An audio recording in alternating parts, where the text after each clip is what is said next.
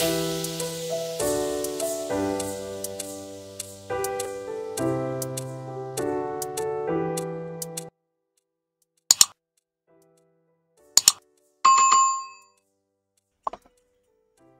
right welcome back.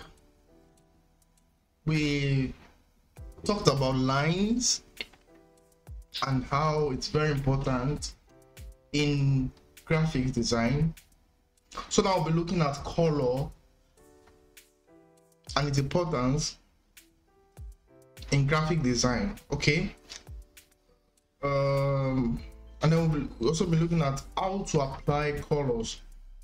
Please this might be a little bit uh tricky so i will need you to pay more attention as we dive into the class all right and if there's any question just feel free to uh, drop in the comment section on the whatsapp group. Okay just feel free to ask any question. So so so so what is okay. So of all elements of design color is probably the most challenging to understand. You have to learn a little science to fully understand the nature of color now color has three main properties hue value and intensity. The intensity can also be called uh, saturation okay? Is that intensity or saturation. So hue value and saturation let me put it that way. So we're going to be looking at the properties um one after the other. Okay. Well i'm supposed to go through the primary colors and the secondary colors but I want to believe everybody understand what the primary colors are and the secondary colors. Okay. So won't be much. Won't be need for that. So let's look at the properties of color. Properties of color all right so number one is hue hue is also the same thing as color all right so if i say color if i say hue i, I also means color i also mean color so hue is the pure is the name of a pure color such as red blue or yellow. So hue is the same thing as color okay so another word for color is what? Yes let me see you type in the comment section hue correct. Hue is another word for color. So the next one is value. Value. I'm going to show you in photoshop okay? This is value. Value is the lightness or darkness of a hue. You see i said it. I can use the word hue or i use the word color. All right the value of a hue or color can be changed by adding black or white. Light values of colors are called tints. Darker values of colors are called shades. All right let me let me quickly show you that right now right here. So like so. Okay. So now I want, I want your concentration to be on this point. Okay where you have the new color. All right so this h is hue. H is hue. S is saturation. And um, the b is value. Okay so hue is color. Okay is the the color and here we are sampling the blue color. All right. Okay let me take it to the red. We're sampling the red color. All right. So if you want to look at saturation okay which is the sorry let's look at the value first. The value that's what we're talking about right now. So the value is um we have the dark the, this is lighter this is the color itself okay? Now look focus on the place we have new that's this point okay so as it goes down it becomes darker. All right so this is the value which is we describe the the the lightness or the darkness of a particular color. Okay i'll, I'll understand that? Describes the darkness or the lightness of a value of a particular color. So the, the light part okay the light values is called tint. That's this part. It's called tint. Why this part? Is called shade. All right. So from tint it moves from tint straight down to shade. Okay. I hope that is understood. If you understand let me see you type i understand in the comment section right now so we look at um, saturation which is intensity. Saturation saturation is the brightness or dullness of a color. Pure hues are highly or high intensity colors. So let me go back to this place. Okay. Now look at look at this. This is a bright color. Okay i'm going to saturation. Okay now we're talking about saturation. This is still red okay? But it's dull. It's less saturated okay? But adjusting it to the top it becomes what? It becomes bright okay? It's if you sample any color all right? I adjust the saturation. This is still purple okay? But it is less saturated. But here you have it it is um fully saturated.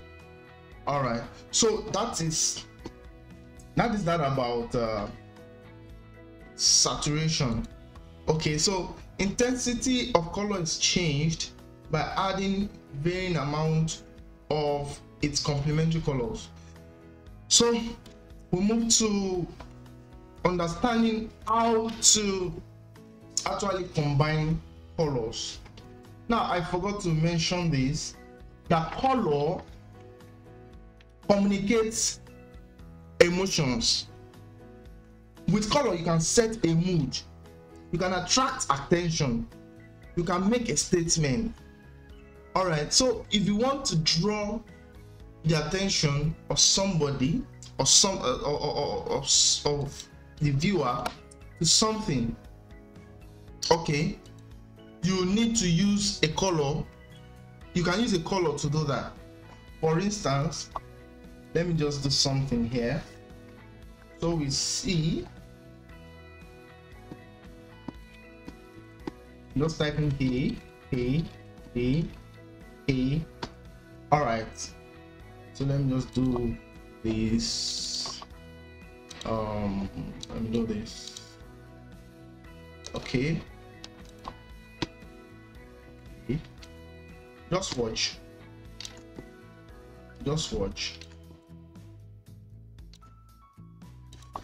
Even though this is just watch just watch me okay. Now let me do this. Good. Now if you set your eyes on this okay the first thing i'll call your attention is the a with color red. Okay so you can use colors to to call attention something i don't know if you if you get what i'm saying so if you do get what i'm saying please write in the comment section that i do understand all right because of uh, i don't want to make this tutorial too long okay so let's further. So you can use color to energize, to cool down. All right, so these are the things uh, these are the message or the, the, the, the functions of colors. So we don't just apply colors in our project. All right. So there are some colors that you apply to your project and it it um, renders it useless. Okay, it distracts the viewer from getting the particular message. So um, maybe in the advanced class we'll be we'll be discussing we'll be discussing on we'll be discussing on uh, the psychology of colors. Okay, we'll be discussing on that uh, by in the advanced class. So color affects us in numerous ways, both mentally and physically. A strong red color has been shown to raise the blood pressure, just like what I showed you here. So the moment you set your eyes on this project, the first thing I'm going to see is the red color okay so but then let's let's move forward to how to combine your colors okay? That's what we call um color harmony okay? That's what we call color harmony. How to combine your colors okay? So we're going to be using the color wheel. Something we call the color wheel and that's what we're going to be using to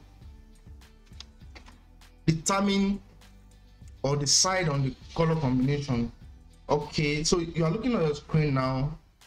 The color wheel that's what you're seeing on your screen right now.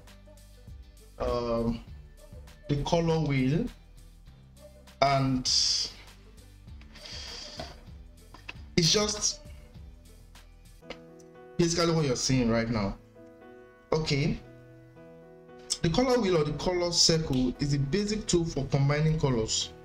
All right the color wheel is designed so that virtually or any color you pick from it will look good when combined together so but there are various um, kind of color wheel but the most commonly the common version is this 12 uh, wheel of 12 colors.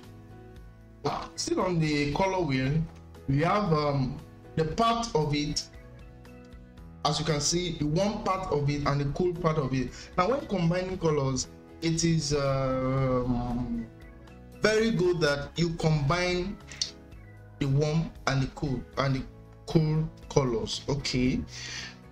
But don't forget we are talking about design elements okay?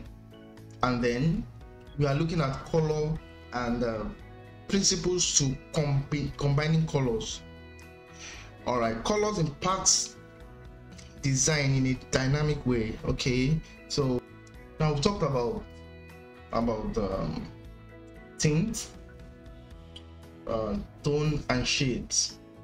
This is talking about uh, value okay? It's talking about value. It's talking about value okay? So the for instance here the pure color is what? Is blue. Okay as you have it here the pure color is blue. The tint is when you add the when you add white to it it gives you the tint. When you add gray to it give you the tone of the pure color blue. And when you have add black to it gives you the shade shade of the color blue. Look at this place. This is um the tint of the color yellow okay so toning it down this is tinting okay from from um region of let me put it that way region of higher saturation to region of lower saturation. Okay that is tint. Okay then we have um, a shade region of lower uh, that is uh, from the color itself then you are adding black to it okay. The color itself. Now for this yellow okay when you begin to add black to it it begins to change change change and like that. Look at this. Okay this is tint this is tint and this is you can say from um, gray to black is uh, is a shade okay we also have tone here okay when you add gray to it to a particular color you get the tone of, of that color. All right so now going into business going into business want to look at color harmony color harmony okay. Color harmony is very simple. If we put our heart to it and it's going to help us in the choice of color okay now i want to give us an assignment i want to give us an assignment. Go online okay? Make research on the um how do i put it now? The meaning of colors okay? Colors and their meaning and or uh, colors and their emotional meaning or how, it affects uh, the emotions. So you're going to get several uh, facts okay? What means danger to a country might means peace to another country. So all of these things we must put in consideration. As i said i said earlier in the introductory part that design is a process. So when you are to work on a project you need to make research. Okay what country will this project be be be be, be visible? Okay. Uh, this will help you in your choice of color. So now you want to you want to talk about love and what means love to um, a country is blue. And you are using red because what means love to you in your country is red. So under if if, if you use red on your on the project i write love or it won't it won't send it won't send that message to the audience uh, properly. Okay so you need to do your research make your research and then see that you are using the right col color to pass your message. Okay i hope i said something meaningful there. So color theory color harmony refers to property that certain aesthetically pleasing colors combination have so this combination creates pleasing contrast and consonance that are said to be harmonious. Colors that look good together are called color harmony. It's a color harmony. Okay. So the first type of color harmony is a complementary color. Now listen carefully. So the complementary color um, scheme or color harmony uses colors that are opposite each other on the color wheel. Okay that's why you should have your color wheel uh with you should, you should have your color wheel it's available online to download download okay? Uh, get your color wheel. So when you're working on the project you you make use of the color wheel now this is how it works. When you choose a color okay. Now, one color will be dominant while the other will complement it. For instance, um, these complementary colors, okay, it, it might not be actually, it uh, might not be, it might not be for logo, okay, or for other things, but when you're working on, say, a flyer design, you one will be dominant while the others will be will, will, will complement it okay? So you can just use a shade of it. Okay we also have um, so the complementary scheme makes use of um, color that are opposite each other on the color wheel for example here you have green and the opposite of it is what is a red okay the next one is the analogous. The analogous color scheme makes use of colors that are next to each other on the color wheel. Colors that are next to each other on the color wheel. What they say? Colors that are next to each other on the color wheel. Now, take note of this. Uh, although I will still say it when we, when we um, start practically, okay? Your project, in your project, try not to use colors um, outside this okay outside this um, color scheme we're talking about. The reason is this. You they begin to fight each other. Okay that's why this thing is designed this scheme is designed so as to guide you or not to use colors that would fight each other. So please try to adhere to it. And when you are good at it you begin to try break rules and the likes okay? So back to analogous. Analogous color scheme i said use colors that are next to each other on the color wheel. They usually match well and create serene and comfortable design. Now look at this. Um I don't know if you have seen MasterCard. MasterCard used this um, used this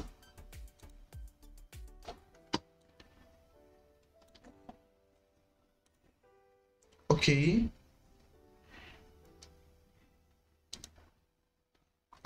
Now what MasterCard used was this and this.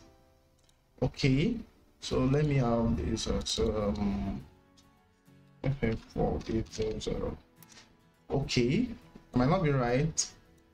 But look at this. So these are colors on the color wheel that are side by side. Okay so these are an analogous um color combination. So we go to the triadic Okay, the color scheme uses color that are evenly spaced around the color wheel. Just as you have it here, you have the purple, the yellow, and the green. This would um, work together, but then not everything in high saturation. Okay, when you're combining these colors, the three colors must not be um, so highly saturated. No no no. It would it, it would um, fight each other. All right. So so so so the next is um split complementary split complementary. Now this split complementary you know we talked about complementary okay opposite each other. Now what split complementary is this is the dominant color which is green. Opposite it you have red okay but it, it's um it's going to make use of the green which is the main color and the two colors beside it's a complementary color. Okay the complementary color is um red but beside it you have the purple and the yellow the orange okay? So that is split complementary okay? So the split complementary color scheme is a variation of the complementary color scheme. In addition to the base color it uses the two colors adjacent to its complement. All right. So tetradic uh, this um, the rectangular or tetradic color scheme okay uses four colors arranged into two complementary pairs. This is it. This is green. Complement of green is what? Red. This is blue. Complement of blue is what? Of uh, of blue is yellow. Okay so this makes use of um, two complementary pairs. Okay, this rich color scheme offers plenty of possibility of variation. The color scheme works best if you let one color to be dominant. Okay, and the square color scheme, same thing as uh, works the same thing like uh, the tetradic. I also have one which is um, the monochromatic. This one makes use of just one color. Okay, monochromatic makes use of just one color, but in its different shades. Okay, for instance, um, I want to, okay, uh, let me just show us simply what it means. Okay, I'm going to use the color blue. Okay. Pardon me. We are still going to learn all of these things. Okay, so I'm just I'm just uh, trying to show us something.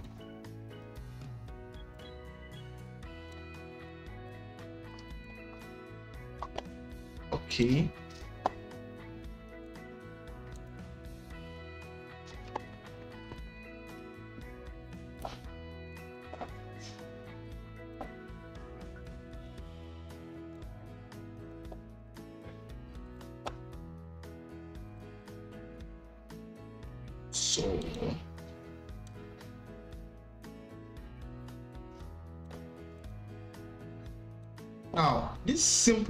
Just did, I have not used more than one color.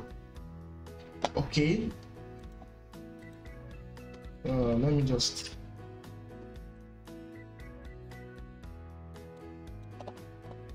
okay white is not is not part of the color so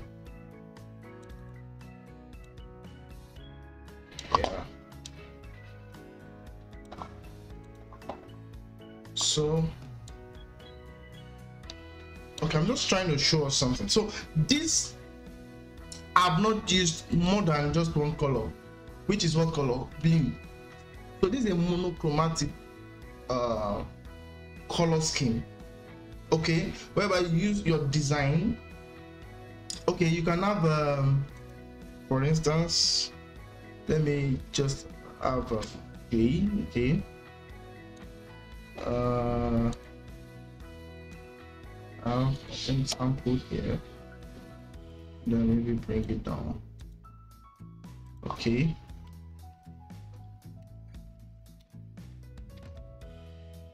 Now, as it were, I have not used more than one color.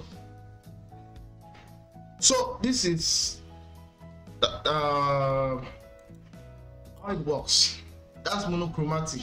Okay, it uses one color all through the design or the project. So if you have any question please feel free to ask me in the comment section or on the WhatsApp platform. Okay, so that is how to combine your colors in your project. That is how to combine your colors in your project. Okay, so just play around with things. Okay, play around the the value and the the saturation. So that will be all for today. Thank you for joining. Uh, till we meet again in the next class. Bye for now.